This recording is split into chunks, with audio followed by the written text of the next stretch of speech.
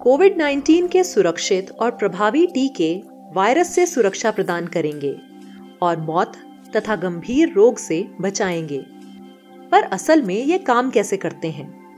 Flu के टीके जैसे अन्य टीकों के समान ही कोविड 19 के टीके सुई से लगाए जाएँगे।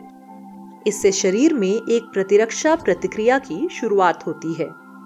जो शरीर का अपनी सुरक्षा करने का प्राकृतिक तरीका है। टीका आपकी प्रतिरक्षा प्रणाली को कोविड 19 पैदा करने वाले वायरस की पहचान करने और इससे लड़ाई करने का प्रशिक्षण देकर इस प्रणाली को और मज़बूत बनाएगा। टीकों में रोग पैदा करने वाले वायरस के मृत या कमज़ोर संस्करण या वायरस का कोई छोटा अंश जैसे प्रोटीन शामिल हो सकता है। इस बात का कोई खतरा नहीं है कि आपको टीके से रोग हो जाएगा।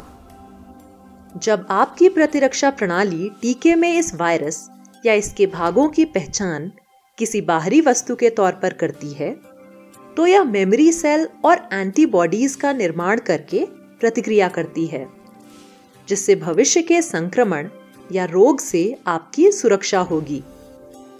इसके परिणाम स्वरूप टीकाकरण के बाद कोविड 19 के गंभीर लक्षण होने की आपकी संभावना कम होगी।